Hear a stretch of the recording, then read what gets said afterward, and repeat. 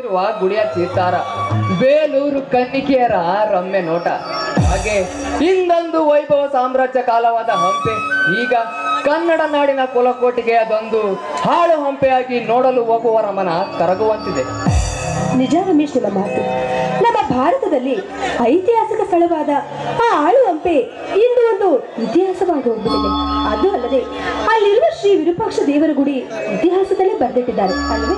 ರಾಧಾ ಆ ಹಾಳ ಹಂಪೆ ವಿಷಯದ ಬಗ್ಗೆ ಮಾತನಾಡುತ್ತಾ ಕೂತರೆ ತಿರಿತು ನಿನಗೆ ಆ ಸ್ಥಳವನ್ನು ನೋಡಬೇಕೆಂಬ ಆಸೆ ಇದ್ದರೆ ನಾಳೆಯೇ ನಮ್ಮೂರಿಗೆ ಪಯಣ ಬಯಸೋಣ.